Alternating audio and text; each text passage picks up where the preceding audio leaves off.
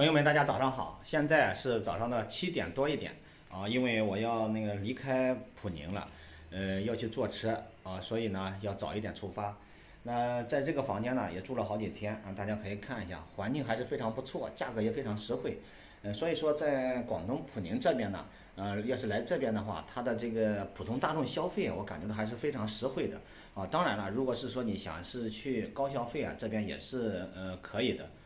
我这个房间呢是属于公寓式的一个酒店，啊，你看，啊，沙发、茶几，还有那个床，是吧？那装修都挺不错的。我在网上订的是七十多块钱一天，还可以吧？行李呢已经是收拾好了，现在呢就准备开始出发。普宁这座城市啊，它的特特点非常多。呃，我在这边呢，也是碰到了两件事情，给我感触很深的。第一件事呢，就是大家可以看一下普宁的街头啊，呃，几乎就是看不到什么出租车。然后可能这一段时间嘛，呃，那个打网约车这个也不好打啊，能打，但是呢，就要等很长时间。还有一点呢，这边没有共享单车和共享电动车，所以如果是外地来这边。出行的话，我觉得呢，呃，不是怎么便利。大家不知道有没有这种感想呢？来过普宁的，我也是在这个位置，在前两天的晚上，因为呃自己要赶时间，我实在是坐不到公交车，也找不到交通工具了，呃，要去一个地方，所以没有办法了，我就在这个路边上截停了当地的一个大姐，我就说能不能帮我送一下，因为我看还有两公里嘛。然后那个大姐就非常热情的，呃，把我送到地方，呃，让我感受颇深的。然后呢，我去跑去给她，我觉得 人家把我载到一个地方，嗯，去给她买瓶水呢。然后回来以后水买了，然后她转身就走了。呃，真的在这里也是特别感谢。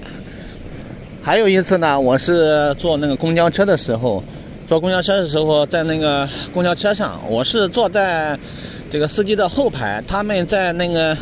上公交车的时候，其中有一个年龄大一点的老大哥，他没有办法去刷那个码乘车，因为呢，就是他可能是说没用过吧，那个手机不会用。旁边一个年轻的女孩就马上站起来说：“我帮你刷吧。”然后那个司机说：“那个女孩帮你刷了，你就直接用微信呃支付给这个女孩就行了。”啊，所以在这里碰到的这两件事情啊，真的非常暖心。在这个地方等公交车去高铁站，不知道大家还了不了解普宁啊？还有一个那个头衔，呃，刚好现在有时间给大家来简单了解一下吧。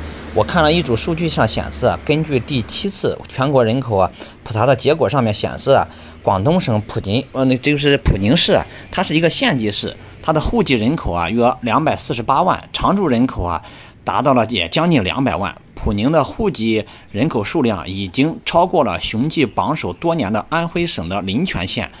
那个时候，临泉县的户籍人口啊是两百三十一万，常住人口啊一百六十五万。所以呢，普宁市的户籍人口不仅在广东省县域当中啊排在第一，而且呢，在全国的县域当中也是排在第一的，是一个名副其实的人口大县。人口啊是城市发展的重要资源。大家也都知道，现在很多城市啊都推出了吸引人口、人才的有关政策。